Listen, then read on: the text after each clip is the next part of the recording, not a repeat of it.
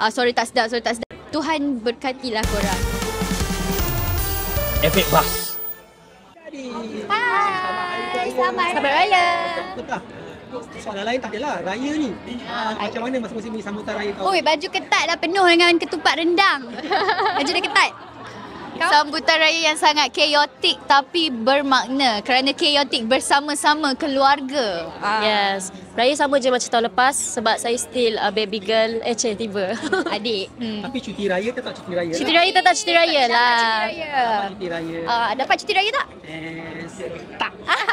okay. So macam mana cuti raya tak cuti raya tahun ni? Mana lagu awak sendiri macam tahun ni macam mana? Kita tahu tahun ni banyak lagu-lagu yang gila viral dan awak pun lancarkan lagu raya awak tahun ni. Macam mana sambutan ni? Alhamdulillah uh, ramai yang dapat relate bersama lagu kami kerana itu apa yang kami mahukan mendapat tempat di hati pendengar kerana dapat relate dengan kehidupan harian mereka. Betul. Kita kita beraya, ha. kita of course lah nak minta cuti kan and mostly orang bekerja sekarang and boleh relate lah. Ha. Alhamdulillah dapat tempat di hati semua orang. Terima Bila kasih. orang bila orang tengok MV kami pun lagi tambah relate. Sebab masing-masing pekerjaan masing-masing. So orang macam, "Eh, sedih boleh relate ni." Betul. Sangka tak yang bahawa lagu tu boleh diterima oleh ramai pihak? Uh, ram, ada juga yang mengatakan bahawa lagu tu pun eh unik juga, sedap juga. Pernah sangka tak begitu? Uh, tak sangka tapi kalau betul ada juga yang kami baca terima kasih kami ingin ucapkan memang tak sangka kami akan sentiasa produce a lot of song and bagi korang something new from us something new. Jadi macam untuk raya tahun ni, ada apa perancangan, ada apa projek kan apa ni sebab kita sekarang kan orang dah kembali bekerja kan. Ha. Cuti raya, cuti raya. Ya, Kita balik kerja kita juga. bila dah habis cuti raya, kita akan sambung dengan new recording. kita dah dalam raya. dah habis raya, sambung kerja. Kita ada Yes. new single insyaAllah Jun atau Julai. Kita tengok kepada keadaan. Kalau tak ada apa-apa halangan. Lagi awal lah dia dikeluarkan. Dia agak mengejutkan juga apabila lagu raya awak, cuti raya awak dan awak keluar lagu uh, diterima baik oleh ramai orang. Sedangkan sebelum ni ada kesilapan sedikit. Yes, Yang betul. Tempoh yang kita tular sikit kita menyanyikan live tersebut kan. Betul. Ada pernah menyangka tak yang boleh buat comeback begini? Dan macam mana menahan hati tu? Yalah kadang-kadang boleh kena kecam hari-hari, orang bising juga, tak down juga kan. Tapi orang boleh, oh tak apa. Baik kita buat something yang different, kita tunjukkan bakat kita. Akhirnya orang terima juga. Tak ada komen-komen tu lagi dah hilang dah semua tu kan. um, beri, uh, seperti yang gadis kata pada hari kejadian yang viral tu memang ada masalah teknikal. Tapi di mana pun orang kata apa pun orang kata uh, kami masih menerima. Memang kami kami sedar. Kami bukanlah penyanyi profesional yang boleh tarik tinggi-tinggi. Jadi kami sedar kelemahan kami. Kami akan perbaiki lagi. Uh, dan alhamdulillah selepas apa pun yang telah terjadi dengan uh, kejadian viral tu masih ada yang support gadis. And walaupun ada orang yang tak kenal gadis, dia still bagi positive feedback. Yes, betul. which is is a good thing. Sebab Tuhan berkatilah korang. Ha begitulah. Ha. Tapi siapa yang mengajar korang untuk uh, menjawab soalan, menjawab uh, situasi tersebut dengan cukup baik? So, kalau setengah-setengah orang-orang muda lah, bila-bila macam ni kan dia akan melatah tau. Tapi korang tak, korang pandai.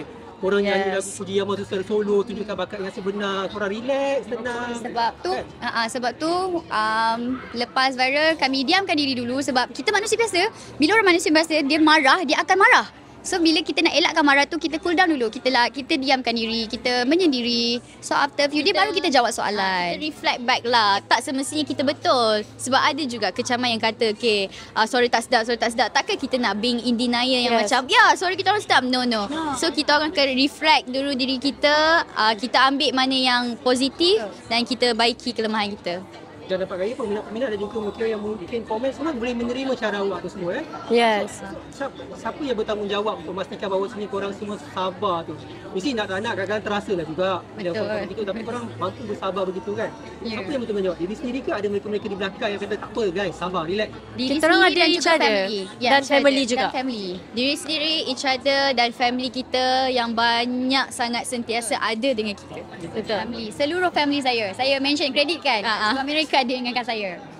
Jadi ada rasa kalau macam anda orang baru sedikit lah eh, sebelum kita habiskan soalan yang tu, uh, patut tak kalau macam artis baru seperti anda semua buat selepas satu nak kena best teruk-teruk begitu kan?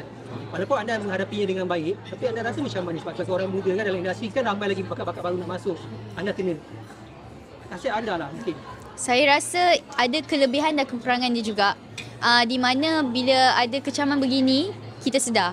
Sebab kita manusia biasa. Kita mungkin kita akan lupa diri? Kita tak tahu. Kalau kalau lah gadis tak diberi ujian ini, gadis sentiasa begitu saja, apa yang gadis boleh baiki? Betul. Ah, so itu kelebihan dia. Kekurangan dia again kita manusia biasa kita akan rasa down but then you diri sendiri lah you have to take it and grab the opportunity and then tunjuk yang you memang mampu. Yes. So lagu baru ni pasal apa pula? Sikit, hint sikit lah.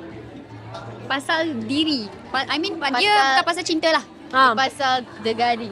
pasal gadis. Dia bukan pasal cinta dah. Bukan bukan macam woman power ke empowerment. Ah, boleh juga betul jadi. Boleh jadi Tapi- after terjadinya Fujiyama.